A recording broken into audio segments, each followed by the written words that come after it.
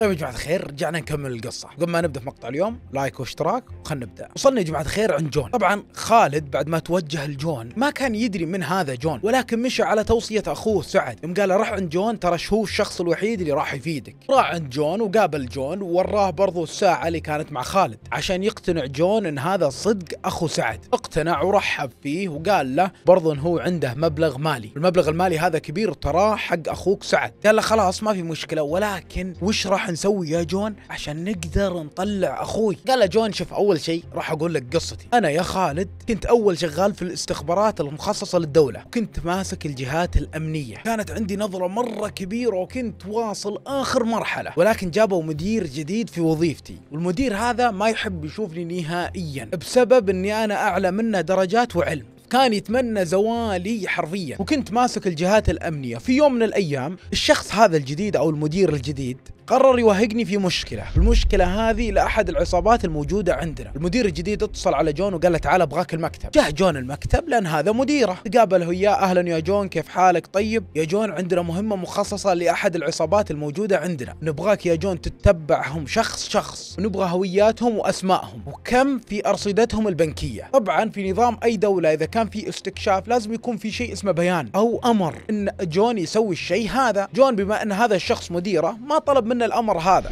اعطاه الأسماء اعطاه كل شيء. جون قاعد يشتغل بشكل يومي عشان يطلع معلوماتهم. جمع معلوماتهم وجون قاعد يلاحظ مبالغ كبيرة مع الناس ذولي. مبالغ يعني توصل بالملايين. صار يتبعهم وين يروحون وين يجون. وكان في أحد من الأشخاص هذولي اللي زاد شك جون. كان الشخص هذا دائما يروح عند المحافظ الخاص بالدولة. يقعد عنده وإذا خلص دوامه يطلع منه. يعني كان شغال مع المحافظ. ولكن جون لحد الآن ما يعرف وجيههم. بس يعرف اسمائهم وتحركاتهم والأجهزة اللي معهم. يوم وصل لوجيههم وأشكالهم عرف إن هذا الشخص شخص من رجال الدولة. قام جون جمع معلوماته كلها وراح وداها الرئيس قسمه الجديد. قال له امسك هذه المعلومات الخاصة فيك. قال رئيس القسم وقع على المستندات اللي طلعت فيها المعلومات. فوقع جون يعني ما تقولون بطيب خاطر وصدر رحب ونية صادقة يعني. وقع معه. بعد ثلاث أيام يا جماعة الخير جت لجنة تفتيش للقسم حقهم. قعدوا يبحثون يبحثون يبحثون والناس اللي موظفين الموجودين ما يدرون إيش السالفة. لين صادوا الجهاز حق جون. جابوا جون الاستجواب. يوم جاء جون الاستجواب قاعدين يستجوبونه. أنت بأي حق دخلت بأي حق وصلت للمنطقة هذه؟ قال لهم جون أنا جتني توجيهات من رئيسي وسويت الأوامر هذه. قال من رئيسك؟ يروحون يسألون رئيسه. الرئيسه جحد وقال أنا مالي دخل نهائيا. وانسجن جون بسبب رئيسه وانفصل من دوامه. يقول من بعد ما انفصلت من دوامي صرت أشتغل مع أخوك سعد. هذه قصة جون. طيب الآن مهمتهم اجتمعوا خلاص. هذه قصة كل واحد. الآن مهمتنا إن حنا نطلع أخوك سعد من السجن. ولكن الحكومة تبغى إثباتات.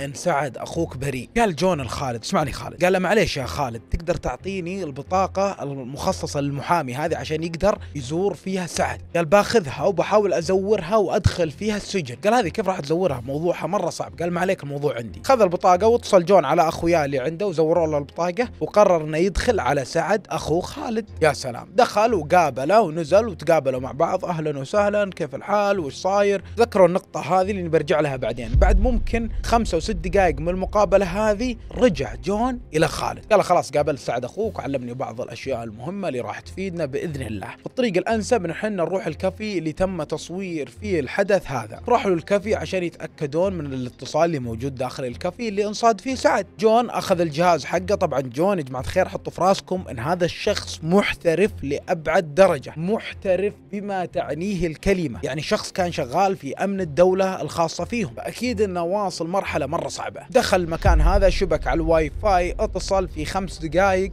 قدر يوصل لمخزون الفيديوهات اللي موجود داخل. مع العلم كانوا يقولون له أنهم يحذفونها كل سنة أو سنتين أو كل ست شهور ممكن. ولكن قدر يوصل لل data الداخلية اللي موجودة في الكافي. في أحد هذه التسجيلات حصل جون خالد يوم يجي الكافي يحاول يبغى يتصل في الشبكة حقت الكافي. ويوم تواصل مع الموظف حق الكافي وقال له لا إحنا ما لنا دخل إنها تنحذف راح تحصلها عند أمن الدولة اللي موجود في المنطقة حقتنا. ولاحظ جون صاحب الكافي كان شخص مجرم وشخص عنده عصابات ونفوذ داخل الدولة. تعمق في البحث بشكل كبير حصل شيء غريب. حصل يا جماعة الخير إن في عندهم موقع مخصص بالعصابات هذه والموقع هذا فيه تحديات تصير بينهم. وكان سعد عليه جائزة مبلغ 5 مليون دولار على اللي يدخل هذا الشخص في تهمة ويسجنونه. أها الحين بان الموضوع بانت السالفة وبان كل شيء. وخالد أصلا قاعد يسمع الكلام هذا من جون ومستغرب من الشيء اللي قدامه من هو أخوي سعد؟ عشان ينحط عليه جائزة. رئيس العصابة هذا شخص مرة مجرم. يعني بالأصل سعد كانوا حاطين عليه جائزة. بس عشان يسجنونه. من سعد هذا وليه الجائزة وصلت للمرحلة هذه؟ عشان بس يسجنونه؟ الآن بيجي في راس خالد يعني لو أجيب تسجيلات الفيديوهات من إلى ما لا دخل نهائيا. فالآن راح تكون مهمة جون وخالد. مهمتهم الوحيدة إنهم يطلعون الفيديو اللي يخلي سعد في براءة. وشلون؟ وكيف؟ وهم قاعدين يبحثون في الفيديوهات القديمة. حصلوا فيديو اللي فيه سعد بالضبط. في تاريخ في الوقت الفلاني حرفيا في كل مكان وزمان. حصلوا فيديو سعد اللي كان على سعد التهمة فيه. فدخلوا الفيديو وفتحوه وعرضوه. أول ما عرضوه حصل الفيديو فيديو عادي. عادوه مرة ثانية ثالثة برضه الفيديو عادي. ولكن يوم ركزوا فحصلوا تعديل على الفيديو. والتعديل هذا باين إن سعد كان ماسك الجوال وقاعد على الكرسي. ولاحظ جون كذا في زاوية بسيطة في شيء مختفي أو في جزء مختفي من الفيديو نفسه. الفيديو الجزء هذا المختفي كان فيه شخص صاحب الجهاز اللي يفتح له سعد الشبكة. بعطيكم مثال بسيط كيف. نفترض الكاس هذا موجود هنا تمام؟ الكاس هذا موجود هنا. الآن راح أخفيه.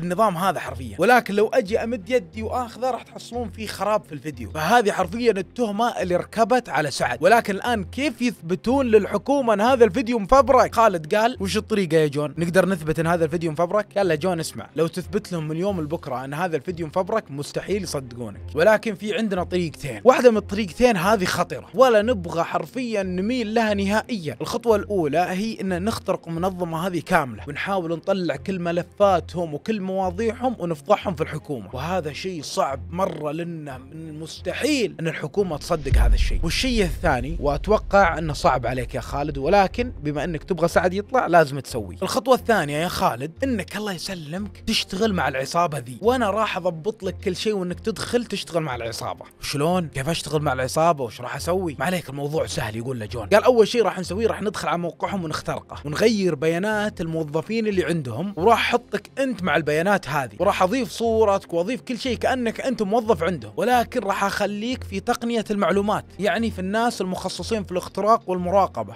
قام جون يبغى يجهز خالد لأمور الاختراق وال hacking. يبغى يعلمه كل شيء عشان إذا دخل هناك حرفيا يكون فاهم كل شيء ويعرف إيش يسوي. جون قاعد يدرس خالد ما يقارب خمس إلى ست شهور. يعلمه لغات البرمجة وطرق الاختراق وأسلوب التعامل مع الأنظمة وكيف يقدر يوصل لأي شيء يبغاه من داخل المنظمة. طبعا ليه جون يبغى يشتغل داخل المنظمة؟ لأن لو اشتغل داخل المنظمة المنظمة هذه متعاقدة مع الحكومة. يقدر يدخل يشوف السجلات ويقدر يسوي أي شيء يبغاه. يا سلام. الهدف من هذا كله أنه يكون داخل المنظمة ويشتغل معهم. أيوه جاء اليوم الموعود اللي يكون فيه خالد جاهز بشكل كامل ولا ينقصه ولا شيء. جون ابراء للذمة وبرضه من خوفه على خالد أخو سعد قرر إنه يسوي له اختبار أخير. إذا نجح فيه خالد راح يدخله. اجتمعوا كذا في غرفة وعندهم جهاز كذا صغير قال جون لخالد اسمع أحتاج منك مهمة بسيطة والمهمة هذه سهلة مرة. إذا قدرت تسويها راح أعتمدك الأسبوع الجاي راح تكون داخل المنظمة. حط الجهاز قدامه قال له خالد اسمع المنطقة الفلانية هذه في كاميرا حق الطريق. أبغاك تخترقها. وفي وقت زمني بسيط. طلع الجوال طلع له خمس دقائق وضغط ال timer. وقعد يحسب ال timer وخالد بدأ يشتغل. طبعا خالد همه الوحيد إنه هو يطلع أخوه. يبغى يشتغل بشكل أفضل عشان ما يفوت ذا الفرصة. وأخوه ما يطلع من السجن. ما مرت إلا ثلاث دقائق إلا خالد قدر يخترق ذيك الكاميرا. ويطفيها على النظام. هنا جون قال له يا خالد أنت الآن جاهز إنك تدخل مع المنظمة وتشتغل معهم. قال له شلون؟ أشتغل معهم وكيف الأسلوب وعلمني أسلوب عملهم. قال طبعا يا خالد هذول أسلوب عملهم راح يكون كل شيء عن بعد. مستحيل يقبلون فيك عن قرب. إلا بعد ما تسوي عدة مهام تقدر تدخل جوا. في البدايات مهماتك راح تكون بسيطة. ولكن كثر ما تبدع وكثر ما توريهم شغلك إنك أنت شخص عملي وتقدر تخدمهم بالشكل المطلوب راح يقربونك من الرئيس حقهم. قال خلاص ما في مشكلة. وجون جهز الخالد برضو الحساب الخاص فيه اللي يكون مع منظمه عشان يدخل النظام حقهم. جهز له كل شيء ودخل دخل خالد معهم. لاحظ خالد إنهم كل شوي يطلبون مهام والشخص اللي ينجز المهام هذه ياخذ نقاط وزيادة على النقاط ياخذ فلوس نسبة من الأشياء اللي يسويها. لأن كل الأشياء اللي راح يسويها كلها فيها سرقة وبرضه اختراقات وسرقة معلومات. فأول مهمة له كانت مهمة بسيطة مرة على خالد اللي هي إنه يسحب معلومات بطايق الصراف. وهذه المهمة تكون عن طريق الاتصال ما لها دخل نهائيا بالاختراق. يتصل على أي شخص عشوائي يحاول إنه يسحب منه معلوماته. ما استغرق الموضوع مع خالد يا جماعة الخير؟ ما يقارب إلا دقيقتين ثلاث دقائق قال لهم قفل على بطاقة الصراف وطلبوا منه عدة مهام لين خالد حرفيا صار قوي عندهم. فأرسل رسالة لأحد المستخدمين الموجودين هناك. هل أقدر أكون معكم شغال وأكون داخل الشركة؟ لأني متحمس مع العمل معكم. قال في مهمة لازم تسويها وراح ندخلك معنا. وش المهمة؟ يبغى الحين خالد يعرفها. المهمة يا جماعة الخير إنك توهق شخص وتخليه يدخل السجن وتحطه في جريمة. إذا قدرت تسوي الشيء هذا راح ندخلك معنا. طبعا جاء فلاش باك على خالد. قال أكيد أن أخوي سعد كان أحد ضحايا التحدي هذا. أها. الحين يبغى يعرف خالد من الشخص اللي سجن سعد عشان يقدر يشتغل داخل الشركة. قال لهم خالد okay ما في مشكلة ولكن أحتاج تعطوني ثلاث أيام. قال طيب برضو أعطوني اسم الشخص اللي تبغوني أوهقه وأخليه يدخل السجن. قالوا خلاص راح توصلك بعد 24 ساعة. أخذ حاله خالد وطلع راح لجون. قال له يا جون الموضوع عرفت وشو؟ الموضوع في تحدي وفي challenge وال challenge هذا إذا حليته راح يرقونك. فأكيد إن سعد أخوي كان في هذه التهمة. جون قال له شلون؟ اشرح لي التحدي بشكل أكبر. قاعد يشرح له خالد ويعلمه وكل شيء حرفيا. قال أها عرفت أسلوب التحدي. ولكن من هو الشخص المعني؟ قالوا له بعد 24 ساعة راح يتحدد الشخص المعني. فخالد جاء في راسه هل هم يختارون شخص عشوائي أو يختارون شخص معني لازم يسجنونه؟ طلع يا جماعة الخير الشخص المعني اللي لازم يسجنونه المدير حق جون القديم اللي طرد جون. جون هنا جاه فلاش باك برضو للماضي. هل مديري سجني عشان يكون قريب للشركة هذه أو الم- العصابه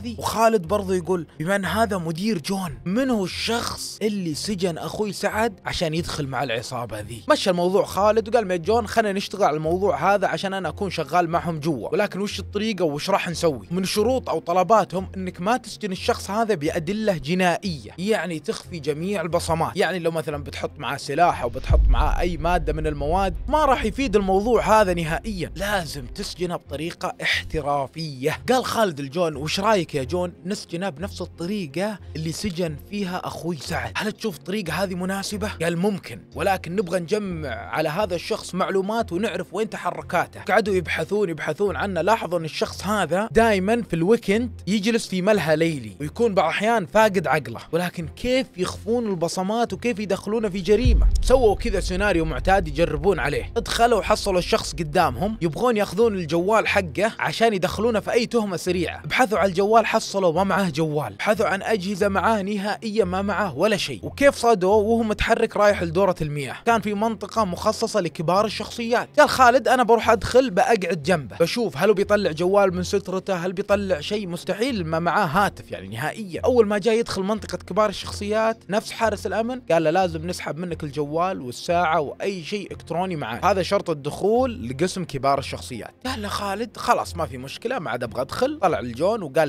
لجون السالفة انهم ساحبين ال- اجهزته بسبب إنه داخل قسم كبار الشخصيات. لازم نشوف له مكان ثاني مختلف. حاولوا يمين حاولوا يسار حاولوا يمين حاولوا يسار يبغون يحصلون طريقة يطرحونها فيها. قال جون شوف أنا مديري أقدر أوصل للجهاز حقه اللي في الدوام ولكن أحتاج مساعدتك يا خالد. قال له أنا معك وش تبي بس؟ أنا أهم شيء إني أطلع أخوي سعد. يعني خالد همه المسكين سعد أخوه. المهم حددوا يوم يبغون يدخلون للقسم الحكومي هذا. القسم الحكومي هذا جون يعرف كل شيء فيه. زور بطاقة وزور كل شيء Face ID كل شيء زوره عشان يقدر يدخل خالد جوا. قال بس أبغاك تأخذ الفلاشة هذه وتحطها على الجهاز وتفتح ملف من الملفات اللي موجودة داخل الفلاشة. دخل خالد وطبق المهمة بشكل كامل وطلع. والفلاشة يا جماعة شغالة بالشكل التمام والبرنامج جوا الفلاشة قاعد ياكل بنفس الجهاز. المهم طلع خالد وحس براحه إنه خلاص بيخلص. شوي اللي يجيه اتصال من عائلته. المهم جاء اتصال قال له إيش فيهم ذولي؟ أكيد فيهم شيء مرحبا هلا والله وش فيك؟ وش صاير؟ وش حاصل؟ وكان يسأل أخو خالد عن سعد وش صار عليه؟ قال له إن شاء الله إحنا شغالين على امور وقاعد يعطيه يعني الأحداثيات. قال له ترى سعود أخوي اليوم جته طعنة في السجن وصحته شوي متذبذبة ولكن إن شاء الله انه قدام الصحة والعافية وآسف إني اتصلت عليك عليك في الوقت الحرج هذا ولكن حبيت يكون عندك اطلاع عن الموضوع. ضاق صدر خالد شوي على أخوه سعود. قال خلاص تمام. الأمور زينة وبإذن الله الأمور بتنحل. رجع خالد لجون وقاعد يكلم جون قال وش الطريقة؟ قال خلاص حصلنا الطريقة اللي نقدر نسجن فيها المدير هذا. وش الطريقة؟ وش الأسلوب؟ قال الطريقة إنه راح نخليه كانه محول حولات بنكية من الحساب الحكومي إلى حساب زوجته. هذه الطريقة راح على طول توديه السجن. وكيف تحولت؟ عن طريق جهازه لأن جهازه فيه ال user وال password حق حسابات البنكية الخاصة بالجهة الحكومية. قال له خلاص ما في مشكلة خلينا نسويها. سووها حرفيا صدق. بعد ثلاث أيام جت الحكومة وسجنت الشخص هذا بتهمة سرقة من مال الدولة. والآن جت مهمة خالد إنه يروح للمدير القسم حقه اللي شغال معهم في المنظمة ويقول لهم ان ترى أنا خلصت الأمور وسجنت الشخص ذا. راح خالد أرسل له رسالة إنه خلاص تمت المهمة. قال له خلاص الآن نقدر ندخلك داخل الشركة. ودخله وصار خالد مقرب داخل الشركة. وصار الكل يتكلم بخالد. خالد في شخص أجنبي موجود عندنا اسمه خالد. هذا مرة أسطوري. الكل قام يتداول اسم خالد لأن خالد مع جون وجون قوي وخالد صار قوي. الآن جت المهمة اللي خالد لازم يوصل لأجهزة الحكومة عن طريق الشركة ذي ويبدل كل المعلومات الموجودة عن سعد ويطلع أخوه سعد براءة عن طريق إنه يحذف المقطع اللي كان مضاف للأدلة الجنائية ويحط مقطع الأصلي اللي غير مفبرك. حرفيا خالد دخل بجهازه واخترق حاول إنه يبدل في الملفات والفيديوهات وقدر إنه يبدل وطلع ولا أحد اكتشفه ولا حد درى عنه. لأن القضية قديمة. طلع الجون قال الان إن مهمتنا الحين نرفع اعتراض على الحكم بما إني خالد أنا عندي شهادة محاماة راح أرفع اعتراض على ال- الحكم اللي صدر بأخوي وأخليهم ينظرون في القضية من جديد. وافق جون وقال خلاص ما في مشكلة وجهز نفسه خالد خذ أغراضه واتجه إلى قسم الشرطة ورفع مطالبة عند القاضي الخاص بنفس المحافظة إنهم ينظرون للموضوع من جديد. القاضي رفض قال لا ما أقدر. وخالد عنده في راسه ان صدق عنده أحقية إنهم يرفعون اعتراض وإنهم يقدرون ينظرون في القضية من جديد. ولكن القاضي رافض نهائيا. شك خالد في القاضي. قال شكل حتى القاضي متعاون معهم. وش الطريقة؟ وش الموضوع؟ وش الدليل؟ طيب ال- الأشهر اللي ضاعت هذه كلها قاعدين نشتغل على الموضوع ذا. بس عشان نبدل نرفع اعتراض الآن يقول لي لا. حاول في القاضي حاول في القاضي حاول في القاضي. هم عندهم نظام يا جماعة الخير. إذا حكمك يعني في الولاية هذه ما مشى تقدر تبدل ولاية ثانية. الولاية هذه لها محافظ ولها قاضي ولها شيء ثاني. رفعوا رفعوا مطالبة لل... لل- للولاية الثانية. هي عدة ولايات فهمتوا؟ قالوا خلاص القضية تنقل هناك. راحوا للقاضي ذاك ونظر حرفيا القضية من جديد شاف الفيديو والفيديو يعني ما في شيء يثبت إن سعد مسجون. عرف إن فيه تلاعب. ولا يبغى يقول ميد الشخص هذا اللي هو اسمه خالد لأن الشخص هذا يعتبر أجنبي عندهم. ولا يبغى يقول له إن في خطأ في الحكم وإن في مشكلة. سكت وقال له راح ننظر ونراجع وراح نرد لك. الرد هذا بإذن الله راح يجيك على رسالة نصية. رجع خالد مستانس وقال بما إنهم يعني قبلوا في البداية إنهم ينظرون فأكيد الموضوع بيكون أفضل قدام. فانتظر خالد أيام يوم الأول يوم الثاني يوم الثالث كلم جون وش السالفة؟ ما حد رد لي. انتظر أسبوع أسبوعين. قال أكيد إن في شيء مستحيل. بعد يوم أو يومين أو ثلاث أيام خالد قال لازم أراجع المحكمة أشوف إيش صاير. لحد الآن ما حد رد لي. وليه الموضوع طول؟ ليه؟ راح المحكمة خالد. يبحث عن القاضي يبحث عنه يبحث. ما حصل نهائيا. سأل السكرتير قال إن القاضي هذا اقاله عرف خالد إن أخوه سعد خطير مرة. ما هو شخص عادي. ما هو شخص ينحط في السجن بتهمة ويألفون له. لا لا لا لا لا لا. شخص هذا واصل مواصيل صعبة. هنا خالد صار مكسور صار تعبان نفسيا. خالد اللي فقد أمه وفقد حرفيا تماسك عائلته ويبغى يعيد الوحدة لعائلته. فقد الأمل نهائيا. رجع لجون مكسور. يا جون والله ما أدري شو أسوي. يا جون علمني وش أسوي. قال له جون بنحصل حل لا تشيل هم. الحل راح يطلع راح يطلع. وسعد أخوك راح يطلع. لا تشيل هم. المهم خالد صار في حيرة من أمره. والله تعب تعب مرة مرة من الموقف ذا. قال ليه أقالوا نفس القاضي ذا؟ وليه كل ما جيت مع طريق أحصل الطريق هذا مقفل؟ وليه كل طريق أصعب من الطريق الثاني؟ وش الموضوع وش صاير؟ خالد قال أنا ممكن أرجع قال ميت جون أنا ممكن أرجع لدولتي. الفترة وبعدين راح أرجع لك. قال له جون لا ترجع. خليك موجود هنا عشان ننهي شغلنا كله ونمشي مرة واحدة. قال له أنا أحتاج أشوف أهلي. رفض جون رجوع خالد. يحس إن في شيء بيصير. هو قاعد يحس إن في شيء بيصير. قال له خلاص أجل راح أروح أزور أخوي سعد. وبقعد اواسيه وأعلمه وين اشتغلنا وين وصلنا. راح للسجن خذ أغراضه كلها وراح للسجن يبغى يزور أخوه سعد ونزل وراه بطاقه المحاماة. قال أنا المحامي الخاص بسعد ودخلوه واستضافوه ما في أي مشكلة. جاء سعد حصل سعد يعني حرفيا سعد كبر بالعمر عشر سنوات في السجن. عمر كبير يا جماعة الخير. قال له سعد قضيتك شوي قاعدة تصعب قضيتك يعني قاعدة تاخذ منعطفات ثانية. قال له جون هل سوى شيء ولا ما سوى شيء؟ قال لي قعدنا نشتغل أنا وجون على الموضوع. قال له لا في موضوع ثاني أكبر أنا وصيت عليه جون تتذكرون؟ قلت لكم ركزوا على النقطة هذه. اليوم نزل جون يكلم سعد قال له وش الموضوع يا سعد؟ وضح لي. أنا أخوك لا تخاف. قال له إني أنا قلت ميت جون إن الشخص اللي سجني وهو مدير القسم حق جون القديم اللي هم بالأصل سجنوه. خالد ناظر كذا سعد قال له أنت قلت ميت جون ان لازم نسجن الشخص اللي كان مدير جون؟ قال له إيه. قال له لحظة لحظة لحظة دقيقة. بدأ يشتغل مع عقل خالد. حس في شيء غلط. قال الان الشركة اللي أنا اشتغلت معهم والعصابة هم اللي خلوني أسجن الرئيس. هل يعني جون هو راح يكون رئيس العصابة؟ قال الموضوع ذا على طول سعد، قال له سعد لا لا لا لا تخاف، ترى جون شخص مسالم وحبيب وطيب، جون أنا متأكد إنه هو اخترق نظامهم وحط الجائزة إنه هو يسجن رئيس قسمه، لأنه هو اللي تسبب في سجني أنا وجون، قال هذا الشخص سجناه الآن. وش تبغى نسوي يا سعد؟ قال له خلاص بما انكم سجنتوا الشخص هذا مهمتكم الآن الوحيدة إنكم أنتم طلعوني من السجن، كيف تطلعوني؟ راح اعلمك الطريقة، قال له قال له الآن أبغاك يا خالد والموضوع أسهل مما أنت تتوقع، قال أبغاك يا خالد إنك الآن تروح للسفارة، السفارة هم اللي راح يحلون كل هذا، قال نروح لسفارتنا، قال روح لسفارتنا. هم اللي راح يحلون المشكلة هذه بشكل كامل. وراح يوقفون معاك، استغرب خالد، يعني كل هذه يا سعد عشان تسجن الشخص ذا عشر سنوات، وقاعد يقول الكلام ذا لسعد، له سعد اسمع. ما راح تعرف شيء إلا لما نطلع من هنا، لا تشيل هم، راح خالد خذ أغراضه ولبس لبسه وراح للسفارة. طبعا يا جماعة الخير القصة كانت جاهزة بشكل كامل. وسجلتها من البداية للنهاية ووضحت هذه النقطة في بثي في التيك توك أو عن طريق ال Snapchat. وتبين لي في الأخير أن ما في صوت في التسجيل. كنت راح أخلي الجزء الثاني كامل ولكن بسبب طلبكم على القصة قررت إني أنزل هذه القصة في أسرع وقت وقاعد الآن أكمل الجزء الثالث. ممكن ينزل في أسرع وقت. فالكم التوفيق. سلام.